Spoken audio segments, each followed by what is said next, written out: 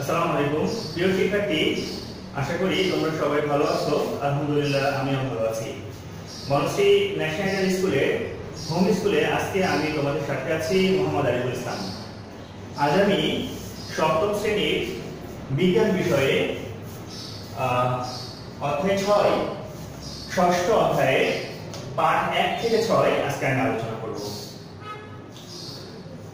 এই অধ্যায়ে এই অধ্যায়ের শুরুতে আমাদের প্রথমে যে বিষয়টি জানতে হবে, সেটি হচ্ছে পদার্থ বলতে আসলে আমরা কি বুঝি? তোমরা খুব ছোটবেলা থেকে এটি শিখে আসছো আসলে পদার্থ আমরা, পদার্থ কাকে বলে, পদার্থ বলতে আমরা কি বুঝি? আমি তারপরে আরও একবার বলতে চাই, সেটা হচ্ছে যে বস্তু, যে বস্তুর ভর রয়েছে এবং যা কোনো জায়গায় যখন অবস্থান করে, তাকে আমরা বলি পদার্থ। আমি আবার বলছি, কোন বস্তু যদি ভর থাকে এবং সেটি যদি একটি নির্দিষ্ট জায়গার দখল করে থাকে, তাহলে তাকে আমরা বলি পদার্থ। যেমন, আমি একটা এক্সাম্পল দিই, এই যে মনে করো ডাস্টার, এই ডাস্টারের কিন্তু একটা ভর রয়েছে এবং এই ডাস্টারের কিন্তু একটা আয়তনও কিন্তু আছে। যেহেতু এই ডাস্টারের ভর আছে এবং এটি একটি নির্দিষ্ট আয়তন করে অবস্থান করে, এজন্য আমরা বলতে পারি এই ডাস্টারটি একটি পদার্থ। করি তোমরা বুঝতে পেরেছ। পদার্থকে আমরা প্রাথমিকভাবে দুই ভাগে ভাগ করতে পারি। একটি হলো মৌলিক পদার্থ একটি হলো যৌগিক পদার্থ। মৌলিক পদার্থ কাকে বলে? মৌলিক পদার্থ হচ্ছে সেই পদার্থ যে পদার্থকে ভাঙলে বা বিশ্লেষণ করলে ওই পদার্থ ছাড়া অন্য আর কোনো পদার্থ পাওয়া যায় না। যতই আমরা ভাঙি না কেন, যতই আমরা ক্ষুদ্র থেকে ক্ষুদ্রতর অংশে বিভক্ত করি না কেন, এবং যতই আমরা বিশ্লেষণ করি, তাতে করে শুধুমাত্র ওই পদার্থই পাওয়া যাবে। অন্য কোনো পদার্থ কিন্তু পাওয়া যাবে না। তাহলে ওই পদার্থ তখন আমরা বলব সেটি হলো কি মৌলিক পদার্থ। যেমন যেমন যদি আমরা লোহাকে লোহাকে যদি আমরা বিবেচনা করি এক খণ্ড মনে করো তোমার কাছে লোহা আছে। এক খণ্ড লোহাকে তুমি কেটে দুই খণ্ড করলে আচ্ছা তাতে করে কি লোহা থেকে কি সেটি অন্য পদার্থে পরিণত হলো? না। এক খণ্ড লোহা থেকে দুই খণ্ডে লোহায় পরিণত হলো। দুই খণ্ড থেকে যদি আমরা চার খণ্ড করি, তাতেও কিন্তু লোহা লোহাই থেকে যাবে। এভাবে আমরা একদম ক্ষুদ্র থেকে ক্ষুদ্র ক্ষুদ্র অংশ যদি লোহাকে আমরা ভেঙে ফেলি, তাহলে কিন্তু আমরা লোহা থেকে সোনা বা অন্য কোনো পদার্থ কিন্তু বা তামা অন্য কোনো পদার্থ কিন্তু পাবো না। সুতরাং লোহাকে আমরা ক্ষুদ্র থেকে ক্ষুদ্রতর অংশে ভাঙতে ভাঙতে যেহেতু লোহা থেকে আমরা অন্য কোনো পদার্থ পাচ্ছি না, সুতরাং লোহাকে আমরা বলব, লোহা হচ্ছে কি মৌলিক পদার্থ। আশা করি তোমরা বুঝতে পেরেছ, একই সাথে আসো, আমরা একটু যৌগিক পদার্থকে জেনে নেই। যৌগিক পদার্থ হচ্ছে এমন একটি পদার্থ যে পদার্থকে ভাঙলে বা বিশ্লেষণ করলে দুই বা ততোধিক মৌলিক পদার্থ পাওয়া যায়। যেমন যেমন আমাদের এক্সাম্পল লবণ। যদি আমরা লবণকে ভাঙি, তো সেক্ষেত্রে লবণের ক্ষুদ্র একদম ক্ষুদ্র যে অংশ, আমরা জানি লবণের সর্বনিম্ন ক্ষুদ্রতর অংশ সেটিকে আমরা বলি অণু। সেক্ষেত্রে লবণের যদি আমরা একটা অণু বিবেচনা করি, আমরা একটু নিচে লিখি, মনে করো যে এই লবণ, লবণকে যদি আমরা ভাঙি, সেক্ষেত্রে আমরা দুইটা পদার্থ পাই। এক নম্বর হলো সোডিয়াম। সোডিয়াম পাই, আর একই সাথে পাই আমরা ক্লোরিন। অর্থাৎ লবণের একটি ক্ষুদ্র অংশকে যদি আমরা বিশ্লেষণ করে ফেলতে পারি তবে দেখা যাবে লবণকে ভাঙলে দুই রকম পদার্থ পাওয়া যায়। একটি নাম হলো সোডিয়াম, এটা হলো একটি ধাতব অংশ, আর আরেকটি হলো ক্লোরিন, এটি হলো কিন্তু অধাতব অধাতব অংশ। তাহলে এই সোডিয়াম আমরা জানি এটা মৌলিক পদার্থ, আবার ক্লোরিন, এটিও কিন্তু মৌলিক পদার্থ। তার মানে লবণ এমন একটি যৌগ, যে যৌগকে ভাঙলে এমন একটি পদার্থ, যেটিকে ভাঙলে একাধিক মৌলিক পদার্থ পাওয়া যায়। এজন্য লবণকে আমরা বলছি, এটি হলো একটি যৌগিক পদার্থ। একই সাথে যদি আমরা পানির কথা বলি, পানিকে যদি আমরা ভেঙে ফেলি বা বিশ্লেষণ করি, তাহলে দেখা যাবে পানির মধ্যে দুই প্রকার মৌল রয়েছে। যেমন আমরা একটি লিখি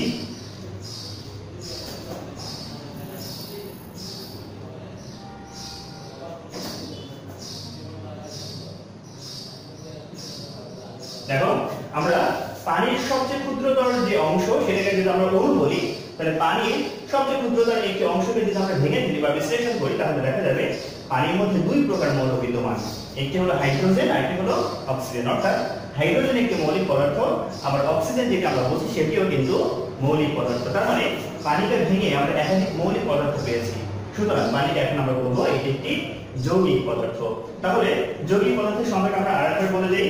সেটা হচ্ছে যে পদার্থকে ভাঙলে বা বিশ্লেষণ করলে দুই বা মৌলিক পদার্থ পাওয়া যায়, তাকে বলা হয় যৌগিক পদার্থ। আশা করি তোমরা ব্যাপারটি বুঝতে পেরেছ? আসো, আমরা এই পর্যায়ে মিশ্র পদার্থ বলতে কি বুঝি?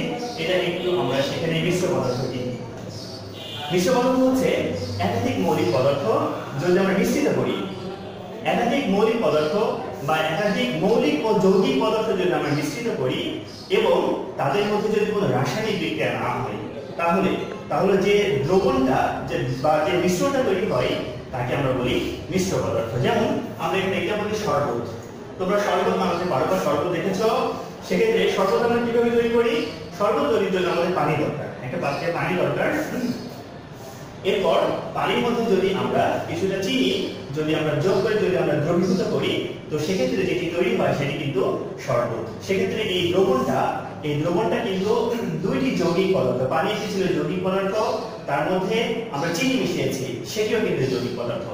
এই দুইটি পদার্থ মিশ্রিত করে যে মিশ্রণ পাওয়া গেল সেই তাকে আমরা বলি মূলত মিশ্র পদার্থ। অর্থাৎ যে শরবত যেটা আমরা পেয়েছি, সেটি মূলত কিন্তু হয়ে গেছে মিশ্র পদার্থ। যদি আমরা তৈরি স্যালাইনের কথা বলি, তৈরি স্যালাইনের মধ্যে, তৈরি স্যালাইন যদি আমরা প্রস্তুত করি, তাহলে কিন্তু পানির মধ্যে আমাদের স্যালাইন দিতে হয় আমরা জানি স্যালাইনের মধ্যে দুই রকম উপাদান থাকে, এক হলো লবণ আর এক হলো চিনি। সেক্ষেত্রে পানির মধ্যে লবণ এবং চিনি যদি আমরা দ্রবীভূত করি, তাহলে যে মিশ্রণ তৈরি হয়, সেই মিশ্রণটাকে আমরা বলি হলো মিশ্র পদার্থ। আশা করি তোমরা বুঝতে পেরেছ। এখন আমরা যে বিষয়টি জানব সেটি হলো পরমাণু। পরমাণু কি? এসো, আমরা পরমাণু সম্পর্কে একটু জানি।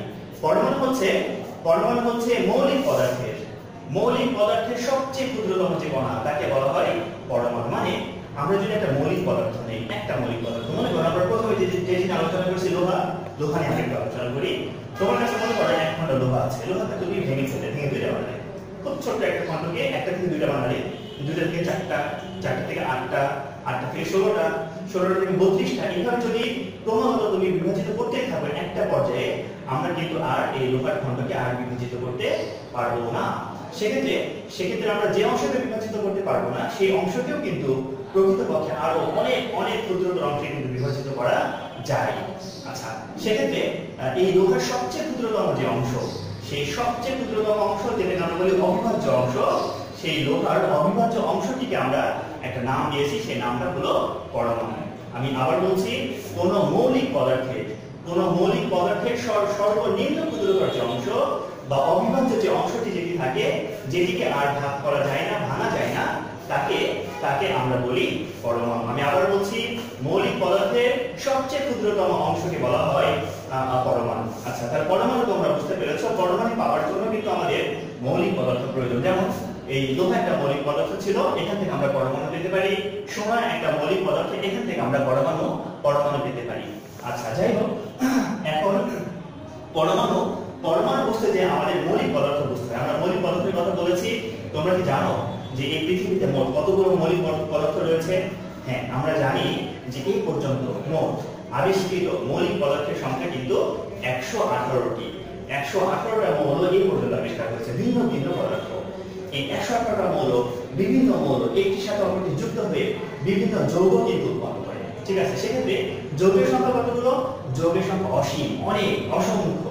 সেক্ষেত্রে ভিন্ন ভিন্ন মৌল সমূহ, ভিন্ন ভিন্ন অন্য মৌলের সাথে যুক্ত হয়ে ভিন্ন ভিন্ন অসংখ্য যৌগ উৎপন্ন করে, যার কোনো লিমিটেশন নাই, এই হিসাব কিন্তু কেউ দিতে পারবে না। এত সংখ্যক যৌগ উৎপন্ন উৎপন্ন হয়েছে। কিন্তু মৌলিক পদার্থের সংখ্যা কিন্তু নির্দিষ্টই। মৌলিক পদার্থ হচ্ছে একশো আঠারোটি মজার ব্যাপার হচ্ছে, আমরা যে একশো আঠারোটি মৌলিক পদার্থের কথা বলছি বা মৌলের কথা বলছি, প্রতিটি মৌলকে কিন্তু সংক্ষেপে প্রকাশ করা যায়। আমি বলে দেই, সেটা হচ্ছে আমরা জানি হাইড্রোজেন একটা মৌল, তথা হাইড্রোজেন একটি মৌলিক পদার্থ। এই হাইড্রোজেনকে আমরা সংক্ষেপে কিন্তু প্রকাশ করতে পারি। হাইড্রোজেন এই সম্পূর্ণ এত বড় নাম যে আমরা যদি শুধু এইচ দেখি এইচ দ্বারা আমরা বুঝতে পারব যে এই দ্বারা বোঝাচ্ছে হাইড্রোজেন হাইড্রোজেন মৌলটি। একই সাথে নাইট্রোজেনকে আমরা সংক্ষেপে এন দ্বারা প্রকাশ করতে পারি অক্সিজেন তো আমরা সংক্ষেপে ও দ্বারা প্রকাশ করতে পারি। এভাবে একশো আটানব্বই মৌলেরই নামের কিন্তু সংক্ষিপ্ত রূপ রয়েছে।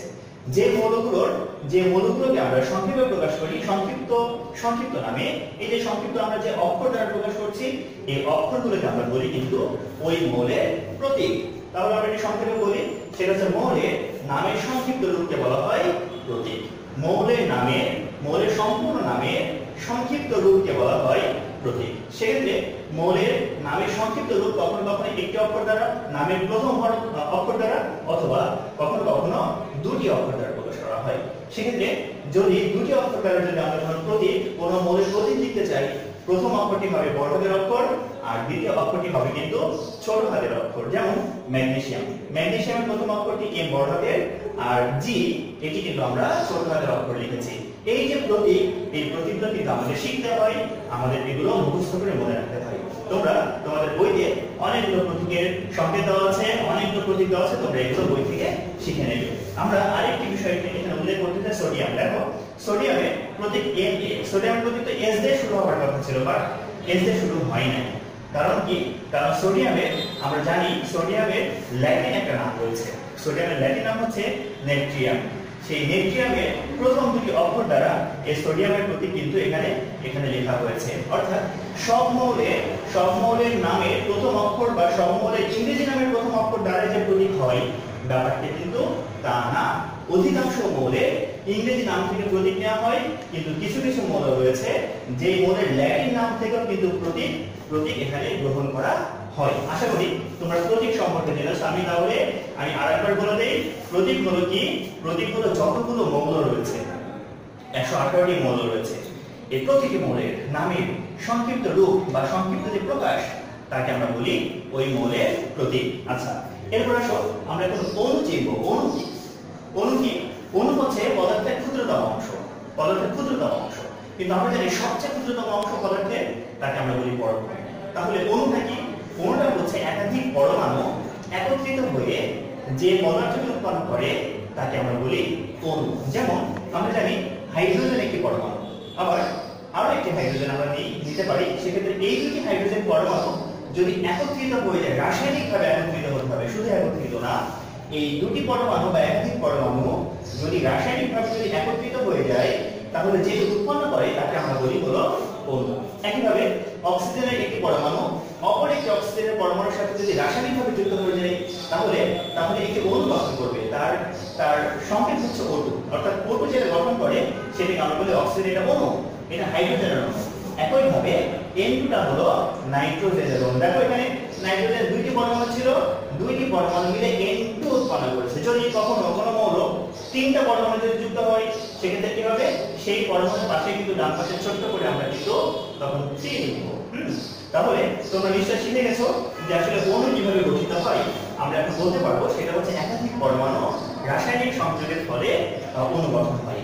একাধিক পরমাণু রাসায়নিকভাবে সংযুক্ত হয়ে, যে পদার্থ উৎপন্ন করে, তাকে বলা হয় অণু। আচ্ছা তাহলে আমরা মোটামুটি অণু, পরমাণু এবং প্রতীক সম্পর্কে আমাদের প্রাথমিক যে জানার যে ব্যাপারটা ছিল সেটা আশা করি যে তোমরা এটা জেনে গেছো। আসো, আমরা আমাদের পরবর্তী আলোচ্য আলোচ্য পাঠ, সেটা হচ্ছে ডালটনের পরমাণুবাদ আমরা এখন ডালটনের পরমাণুবাদ থেকে আলোচনা করব। তোমরা জানো যে খ্রিস্টপূর্ব চারশো অব্দে ডেমোক্রিটাস নামে একজন বিজ্ঞানী ছিল, তিনি সর্বপ্রথম বলেছিলেন যে পরমাণু কোন পদার্থকে ভাঙতে ভাঙতে এমন একটা অবস্থায় যাওয়া সম্ভব যখন সেই পদার্থকে আর ভাঙা যায় না। অর্থাৎ পদার্থকে বিভাজিত করতে করতে সর্বনিম্ন একটি একটি অংশ পাওয়া যায়, সর্বনিম্ন ক্ষুদ্রতম একটি অংশ পাওয়া যায়, যেটা অবিভাজ্য। তিনি তখন সেই অবিভাজ্য বা সবচেয়ে ক্ষুদ্রতম যে অংশ, তার একটি মানে ক্ষুদ্রতম অংশ পদার্থে যেটি, তার একটি নাম দিয়েছিলেন। তখন তিনি ওই ক্ষুদ্রতম অংশের নাম দিয়েছিলেন হচ্ছে অ্যাটম, যার বাংলা হলো পরমাণু হ্যাঁ? তো সেক্ষেত্রে সেক্ষেত্রে পরবর্তীতে বিজ্ঞানী জন ডাল্টন, পদার্থের ক্ষুদ্রতম অংশ, পদার্থের ক্ষুদ্রতম অংশে কি কি বৈশিষ্ট্য থাকবে, বা একটি মৌলিক পদার্থের বা কোনো পদার্থের অভ্যন্তরীণ গুণাগুণ কি কি থাকতে পারে, সে সম্পর্কে বিজ্ঞানী জন ডাল্টন পরমাণু সম্পর্কে, মূলত তিনি পরমাণু সম্পর্কে কিন্তু একটি ধারণা আমাদের দিতেন সর্বপ্রথম তিনি পরমাণু সম্পর্কে আমাদের ধারণা দেন যে ধারণাকে আমরা বলি যে ডাল্টনের পরমাণুবাদ।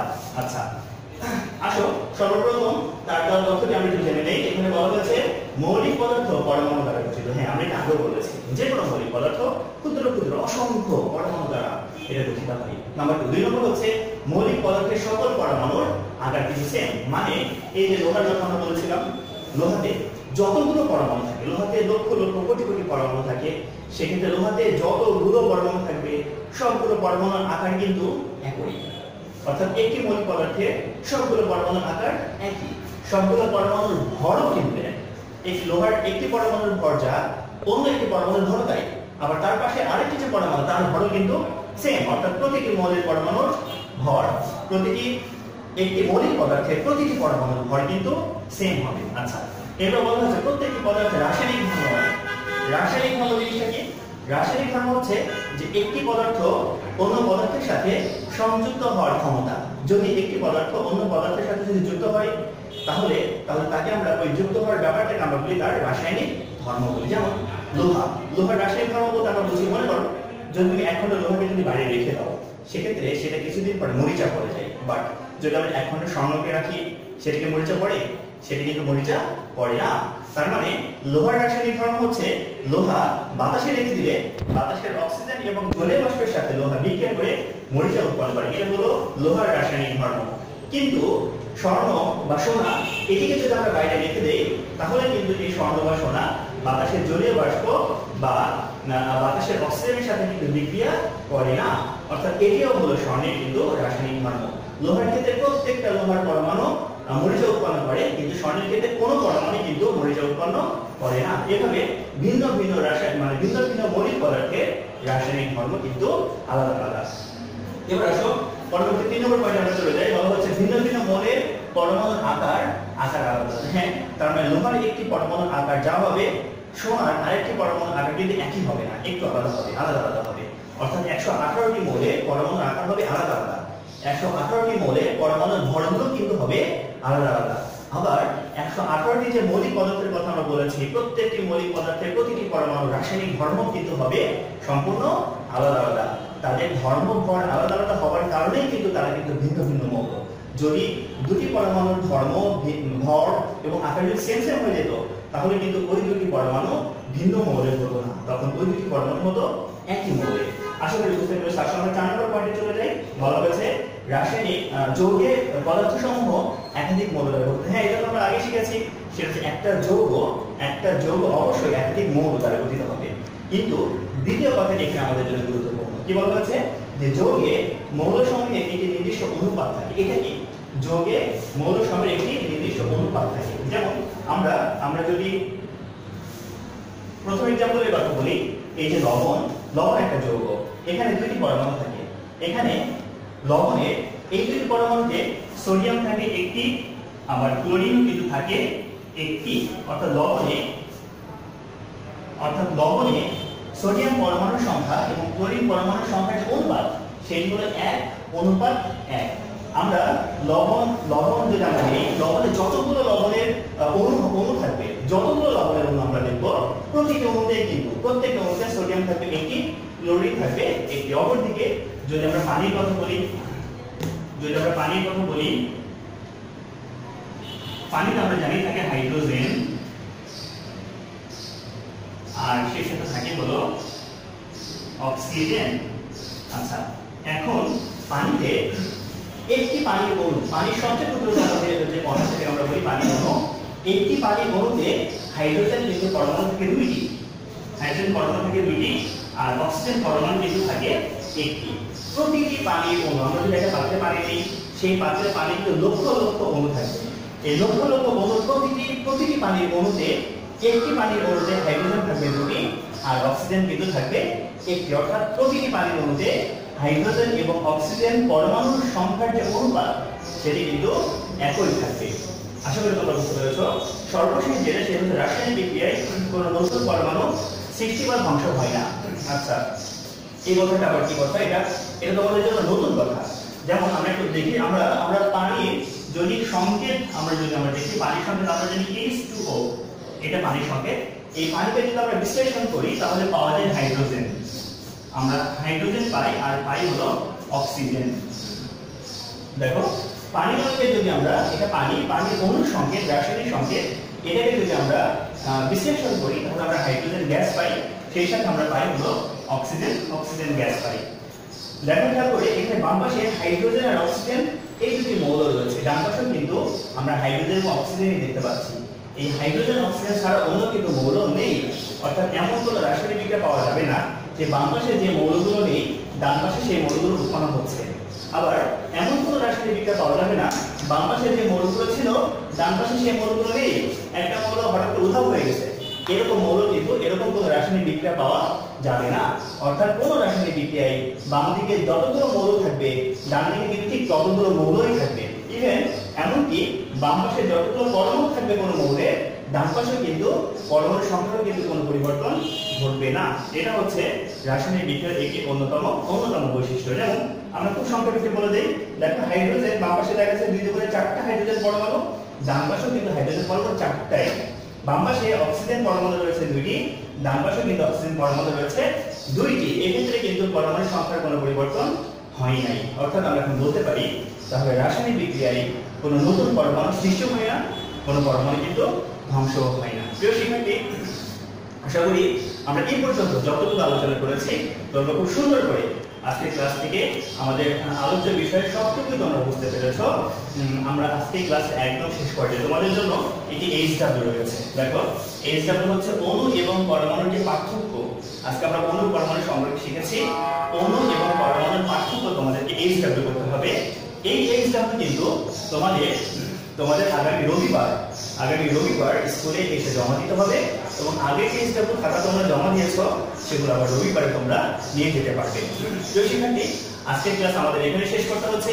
পরবর্তীতে তোমাদের সাথে ইনশাআল্লাহ আবার দেখা হবে অন্য কোনো ভিডিও ক্লাসে সে পর্যন্ত সবাই তোমরা ভালো থাকবে, সুস্থ থাকবে। এই পর্যন্ত আজকে শেষ করছি। আল্লাহ।